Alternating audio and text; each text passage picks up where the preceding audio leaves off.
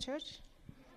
I'm going to read from John chapter 17, verse 24 to 26.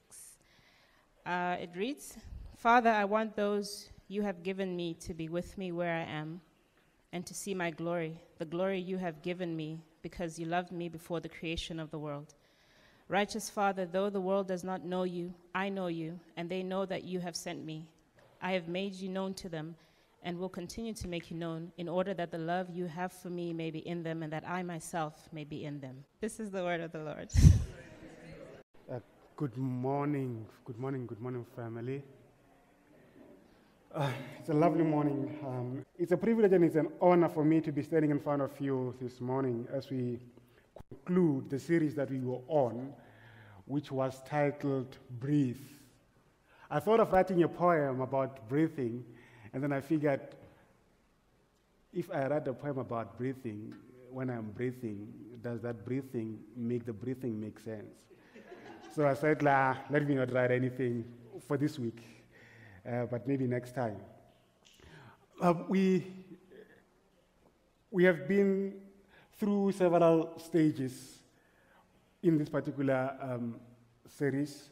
I am going to borrow from what uh, Reno said last week with regard to, he had titled it so far. And then he said, number one, we prayed, we learned about praying uh, to glorify the Son in verse 1 and 2. Number two, about praying uh, for an experience of an eternal life in verse 3. Uh, praying for faithful uh, praying to faithfully finish the work given to us in verse 4 and 5 of John 17, by the way, just in case you are wondering which you're seeing verse, verse, verse of what? Verse of John uh, 17. And then the reason for uh, the prayer that is found in John 17, verse 6 and 11a, uh, praying for protection in verse 11b to 16, praying for sanctification in verse 17 to 19. And last week we learned about um, praying that all believers could be one. And, and, and I am pretty chuffed and happy with the work that um, Reno has taken us through thus far. And this morning we are supposed to be a title, I think, Perfect in the Glory. Yeah, perfect. We are learning about, we're going to be learning about, supposed to be learning about yeah, I'm saying supposed because I'm not sure whether you're going to go there. But let's see where it goes. Being perfected in the glory of Jesus Christ. Being perfected in the glory of Jesus Christ.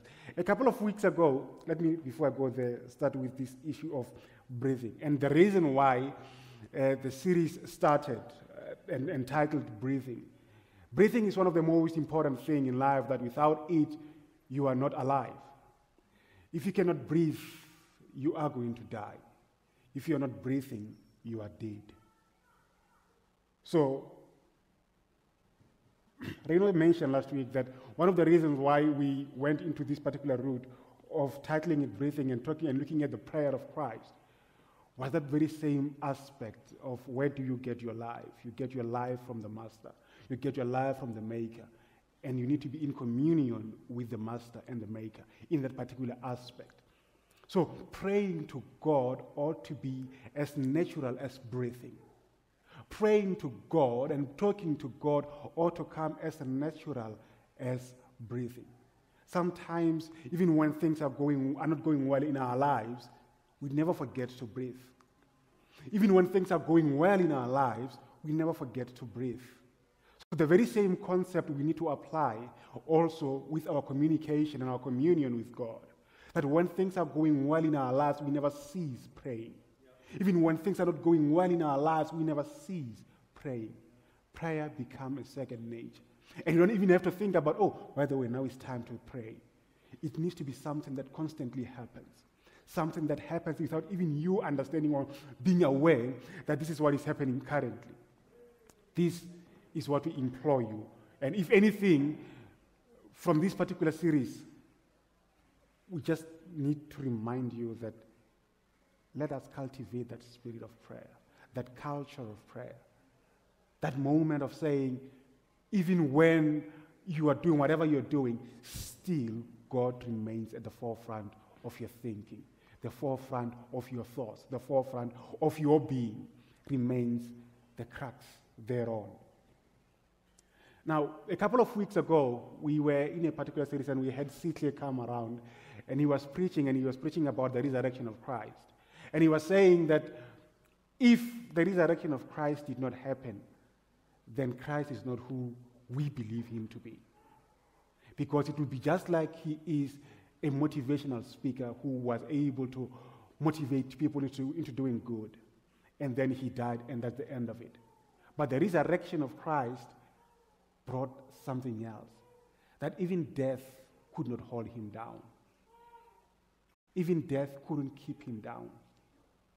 He was risen. He has risen. He is alive. Did he, not, he did not only just die on the cross, but he is alive.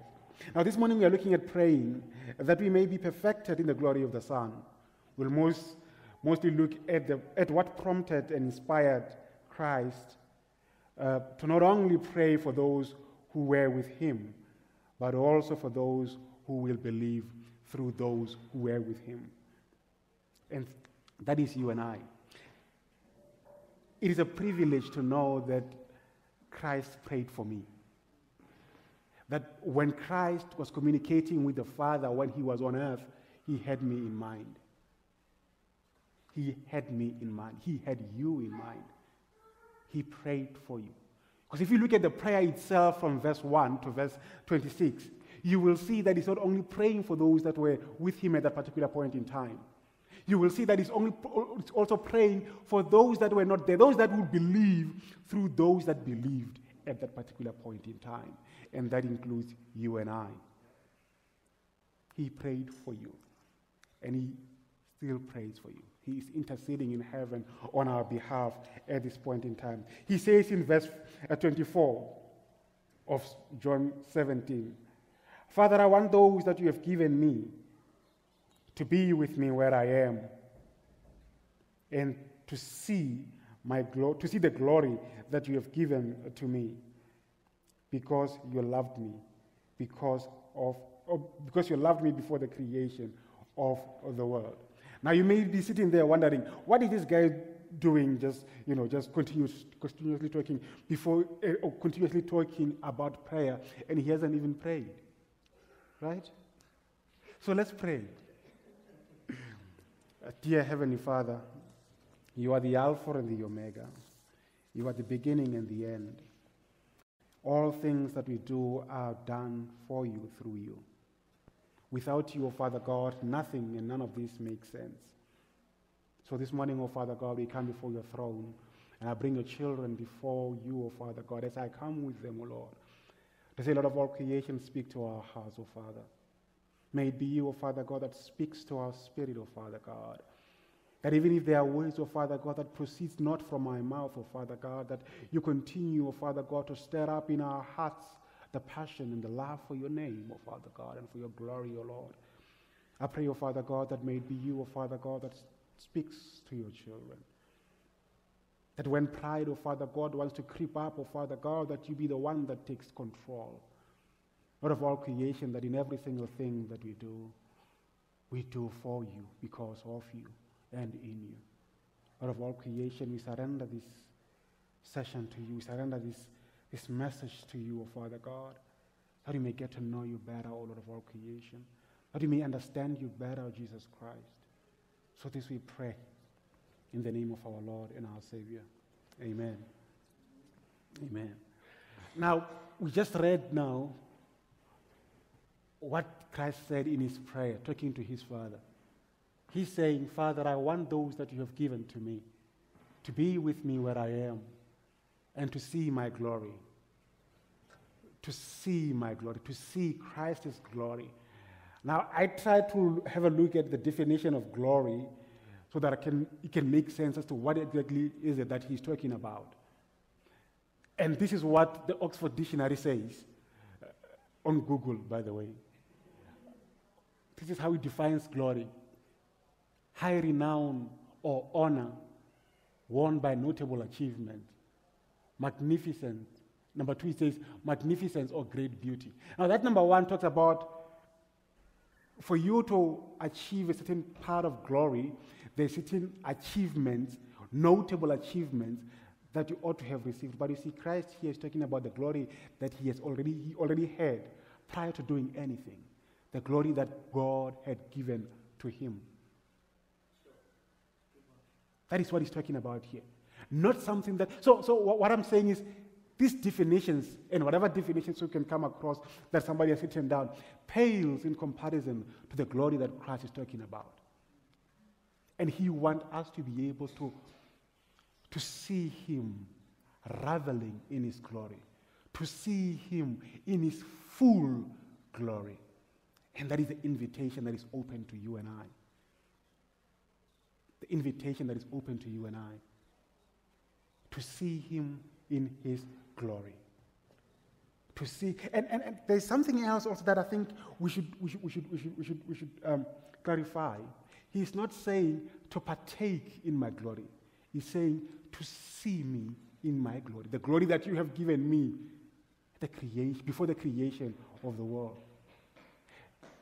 You know, I don't know if you, you, you guys are, I was looking for pictures of uh, Chelsea Football Club in its glory, and I couldn't find any. so, this is what I could find. There's a picture. Look at this. Look at these people. They are marveling in glory. There is the from the Euro 2020 when England, I think it was England who won who won the Euro 2020. Yeah, I think these people are marveling in the glory of the win, right? But here is the thing they are feeling as if they are the ones who won, but they were not in the playing field, they were not playing. Right? But they're seeing it. They're feeling it. They're embracing it. They're being proud. They're proud, rather, of the nation that won that particular cup. And they feel that this is the glory that we can partake in. This is the glory that we can partake in because our people did this. Look at the excitement on their faces. They were not necessarily partakers of the glory. They were not the ones who uh, achieve or obtained the glory, but they can partake in it. And they can be joyous in that particular glory. And this is the glory that Christ is talking about. That this is my glory. I want you to come and feel what I am feeling, what God has given unto you. This is the glory that we are being called to. In fact, this one even pales, to be honest, compared to the glory that we are being called to. The glory that Christ is calling us to. When the Springbok won the World Cup, I wanted to bring that particular picture, and I was like, nah, but uh, Reynolds used this picture two weeks in a row, me using it for the third time. You know, where, where, where, where Siya Kolisi is holding the, the, the Callis, what do they call it? Web Callis. Webb Ellis, yes. Webb Ellis Cup. You, that, that moment that he won, every South African felt it that no, we, we have made it, we have achieved it. But they were not playing by the way. But they can participate in the joy. They can, they, they can marvel in the joy of the victory. And this is the victory that Christ has. He has won the victory over death, over sin. And we can rejoice in it because our Father has given us that, is giving us that glory. Our Father is allowing us to share in that glory of victory. That glory of victory, the perfect glory of victory we will be perfected in that glory if we are with Him. If we are with Him.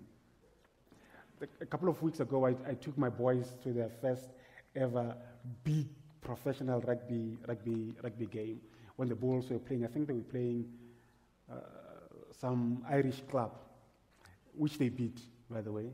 And, and, and and I could see the joy in their, in, in, in their eyes. And Moloko even said to me that, you know, next time, every time we go to rugby, we must come here. Because he was in the field of dreams. That is Loftus, by the way, just in case you don't know. You know, he saw it was full. And, and when everybody was doing the Mexican waves, they joined in. They had fun. And when the Bulls won and everybody was celebrating, they celebrated, even though they don't understand which team won. But they celebrated. They shared in the glory of the Bulls' victory. And now, imagine the victory and the glory that we can share by being in Christ and with Christ. That is the glory that we have been called to. We have to be there to experience it. He has experienced it before, hence he says. He has experienced it before. And he wants us to look forward to seeing him in the fullness of his glory.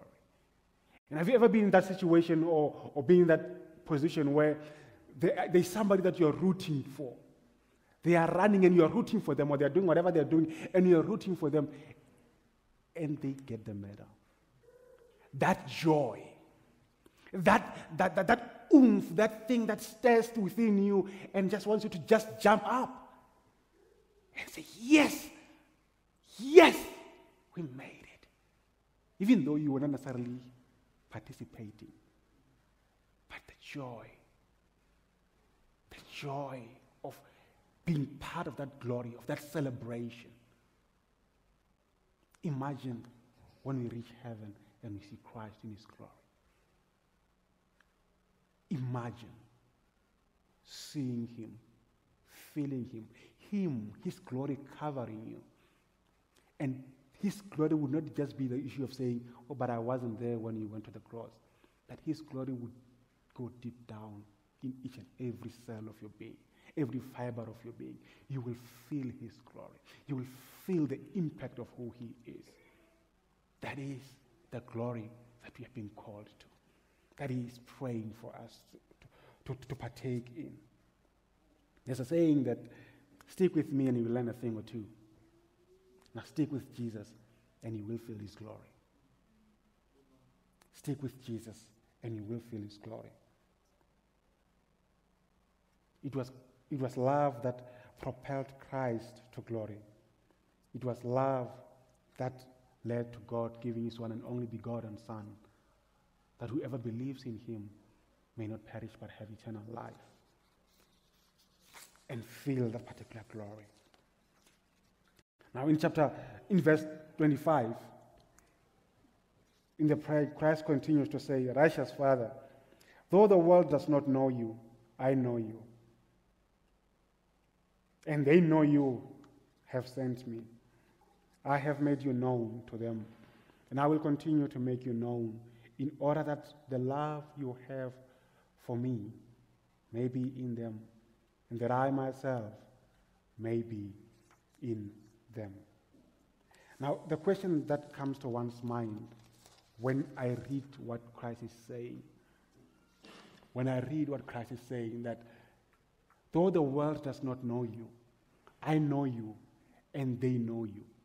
Now, the question that I have for all of us is do you know this God? Do you know this Christ? And how do you know him? When did you get to meet him? to know him? When did you get to when did you get to know him? Who is he to you? How do you know him? Where have you experienced him? Was it when you were sick and he was your healer that you became to really know of him or to know him?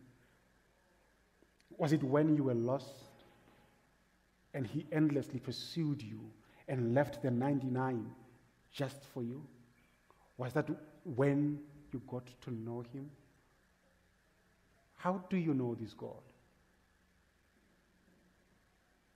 Hmm? Was it when you had no strength or will to carry on? And you just found yourself the next day and the next day, and still you are here carrying on. Has that experience showed you who he was and you got to know him? How do you know this God? Do you know this God? When have you experienced this God? These are the questions that only you can answer because only you have a relationship with Him. But think about it. Christ says, The world does not know you, God, but I've made you known to them. Have you known God? Do you know God? And how do you know God? Was it when you were on the verge of suicide and had lost all hope that He came through for you and you got to know Him? Or was it when that beautiful lady walked into your life or that handsome guy walked into your life and you realize that uh, looking at myself, definitely I cannot, this cannot be me. This must have been God. Was it at that stage that you, you understood who God was, that you got to know God? In fact, let me ask this question, let me ask it this way How is your relationship with God? The one that we were just thinking about, how you know Him.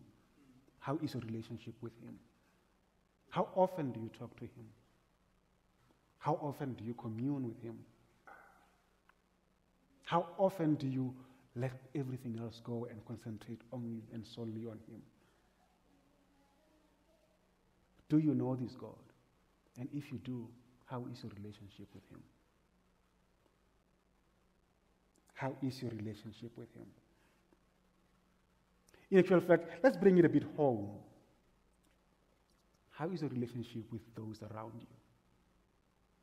When they look at you, do they see and do they experience God through you? Do they know of God through you? Do they know that indeed, because of the way that this person behaves, because of the way that this person carries themselves, there must be a God that they have a relationship with?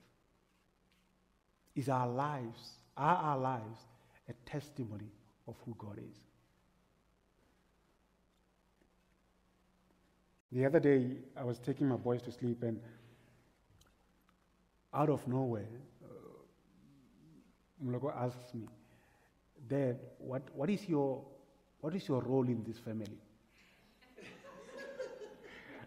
I wasn't expecting that question, and it was just a, an answer that I had to give, but I, and I gave it then. And I, I continued thinking about it, and my answer to him was, my role is to make sure that you have a better life than I ever had. Right? And, and, and you can look at there and say, well, that's a very lame, lame answer.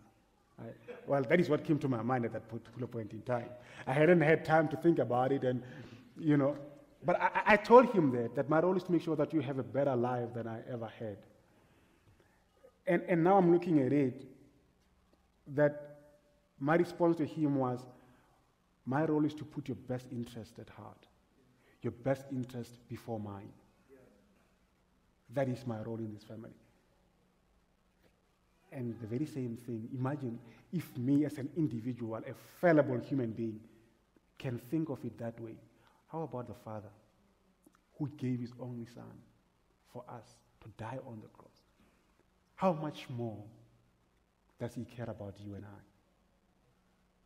How much more does he want you? Does he have your best interest at heart? Even when things are not seemingly going according to plan. But if I, as a fallible human being, can have such best interest as a heart for my boys, how about our God? How about my Father, who is not fallible?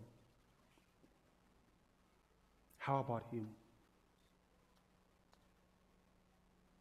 Now, the question I've been saying the question, I've been asking too many questions, right? I'm just hoping, though, that uh, this, these questions stir something in your heart uh, that you go to the Father and commune with Him. And He can help you answer them for yourself. There, will be a number of uh, scripture references uh, that will and that may or may not be, no, they're definitely not on the, on the, on the, on the projector. What moves you as a Christian? Why are you here this morning? And what makes you tick?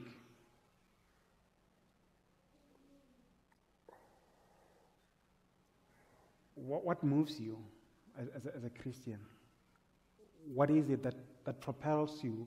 I mean, there are people right now, as you're speaking, who are busy with whatever they're busy with, but you chose to come and be here.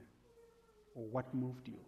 And when you came in and to, to be here, uh, you found chairs stacked. You found everything stacked. You found coffee made. What do you think moves these people who did and prepared this venue to be the way it was when you got here? What moves you as a Christian? I shudder a response to say that it is love. I say that I do what I do for who I do, for those that I do for because of love. And I continue to also say that I believe that the backbone of Christ's message was love. That everything he did, he did for love. That every person he healed, he healed because he loved them. That every message he preached, he preached because he loved, even when he was retributing.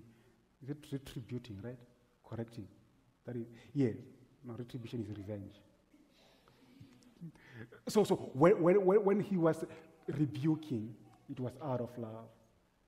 Everything that Christ did was out of love. How is your love for Christ? How is your love for those around you? There's a reason why we asked the question of the day the way, the day, the way that, that we did. Not how do you want to receive love, but it was about you giving the love because you have received the love already from Christ. How then do you, do you pass on that love? How do you show the people that you love that you love them? How do we show them that we love them? A couple of weeks ago, Reno came here and gave a financial, uh, financial report. And in that, he mentioned that this church, of all the funds that has, it has received, 51% of it went away, gave it away to the people within the church who are struggling, to people outside the church who needed, who needed it. The, the, the, the finances that were received were not hoarded. And, and, and, and one could ask, why would you do that? I mean, many people will receive the money and just keep it for themselves. But we believe in being a hose pipe. It doesn't keep water. It is there for the water to flow through. That is propelled by love pushed by love, encouraged by love, to show the love of the Father to the love Oh, or to, to, to, to, the people around us. The Bible says that how can you say that you love God that you haven't seen, yet the people around you, you are struggling to love them, show them love and care? how, how, how is that? Can you truly say that you love God when you cannot love somebody around you? There's, there must be another thing here. This is what Jesus said about love. When asked, What is the greatest commandment in Mark 12? One of the teachers of the law came, to, came and heard them debating, noticing that Jesus had given them a good answer he asked him, Of all the commandments, which one is important? Which is the most important? Jesus uh, replied, The most important one is this Hear, O Israel, the Lord our God, the Lord is one. Love the Lord your God with all your heart and with all your mind and with all your soul and your strength. The second is this love your neighbor as you love yourself. There is no commandment greater than this. Christ did what he did because he understood the love of God and continues to encourage us to do what he did, being propelled, being pushed, being fanned by love. Being fanned by love. Now, we come to church and we hug each other, we, we talk to one another, and we we show love to one another, but what happens after the service?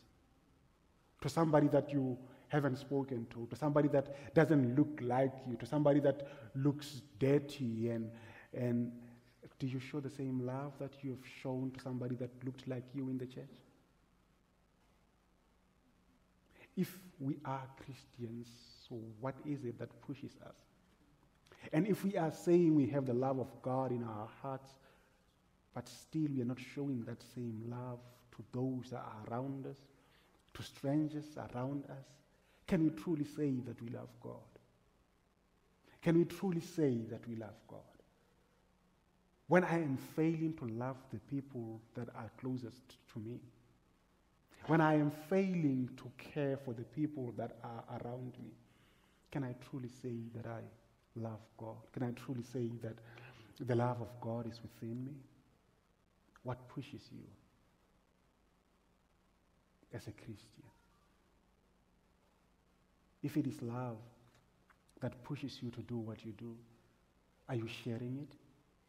Are those people that are around you seeing that particular love? Even when you are angry with somebody that you love and you speak, are you speaking? Is your speech covered in love? Even when you are not feeling so good, is your speech covered in love? I am tempted to.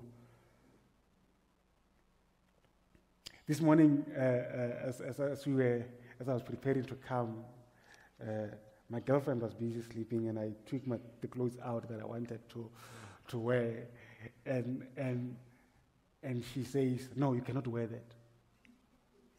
Right? And I'm like, "What's wrong?" She said, "No, you cannot wear that," and, and she gave her reasons, and I'm looking at it, and I'm like, when I was here and I was thinking about it, thinking back, I'm like, hmm, maybe she had a point, and I think my response would have been different had she approached it differently. So I, I'm just saying that there will be times where the people that you love make you angry. There will be times that the people that you love say things that you don't agree with. How are you going to respond? Is your response going to be covered in love? Or are you going to forget that you are a Christian when you are angry? And remember that you are a Christian when you are not angry? Are you going to remember the love of God only when things are going well? And showing the love of God when only things are going well in your life? Does it mean when I'm going through trials and tribulation, then I am excused from showing love? No. God has showed us love. Remember, even this chapter 17, if you go to chapter 18 of John, immediately after he had prayed, they walked to the mountain, and Christ was arrested, and he suffered. He suffered. And he hung on the cross. And as he hung on the cross, he said, Forgive them, Father, for they know not what they are doing. Propelled by love, even in the midst of pain, even in the midst of discomfort, let the love of God never disappear from you. Even when things, even when you are very angry and you are shaking in anger because people before you, in front of you, who are supposed to be people of integrity, are not people of integrity, still don't let the love of God disappear from you. Communicate still in love. Even though you feel sometimes that I'm being taken advantage, still that is not excuse to stop loving. That is not excuse to stop loving. In fact, there is never an excuse for anyone to stop loving. I mean, Christ even said, Love your enemies. There is no excuse for not loving. There is no excuse for not loving.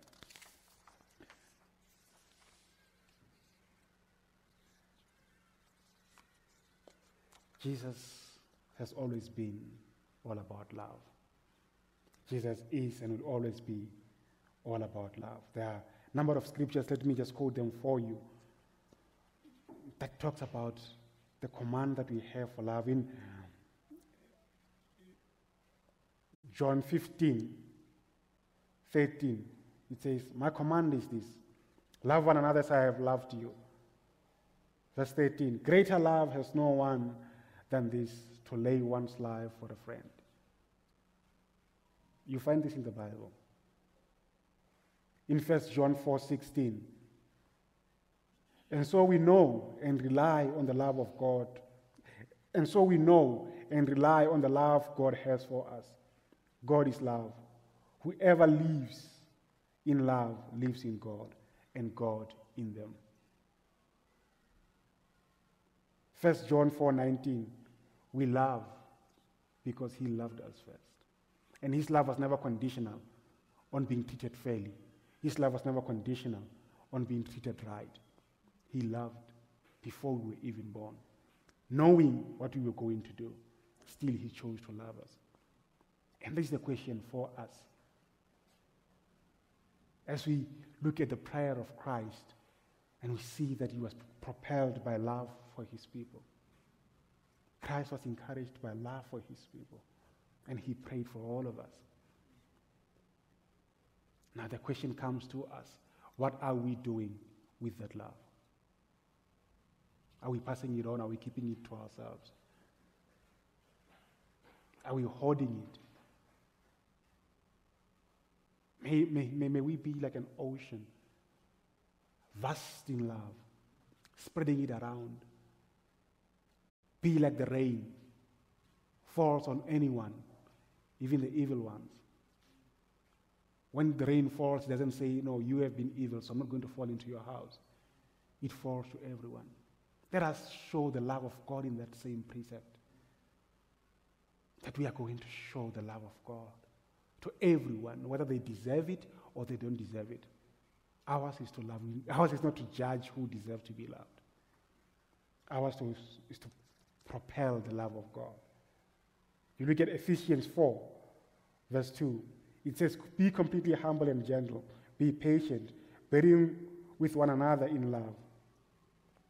1 Corinthians 13. In actual fact, let's just go to 1 Corinthians 13. That is the scripture that talks mostly about love.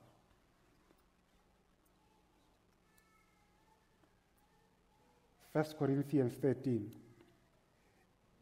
If I speak in the tongues of men or angels, but do not have love, I am only a resounding gong or clanging cymbal. If I have the gifts of prophecy and can fathom all mysteries and knowledge, and if I have faith that can move mountains, but do not have love, I am nothing. If I give all that I possess to the poor and give over my body for hardship, that I may boast, but do not have love, I gain nothing.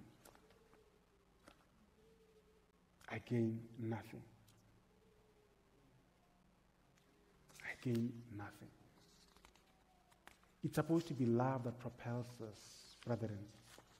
It's supposed to be love that compels us to show Christ to the world.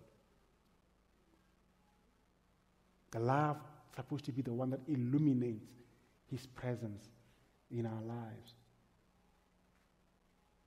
1 John 4:12 Whoever claims to love God yet hates his brother or sister is a liar. This is not me, it's the Bible saying. If you hate your brother or sister and profess to love God, you are a liar.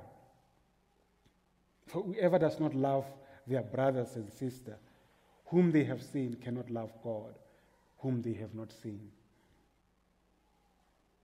Now it goes back to this that I asked in conclusion. How do you know God? When did you get to know God? And how do you know Him?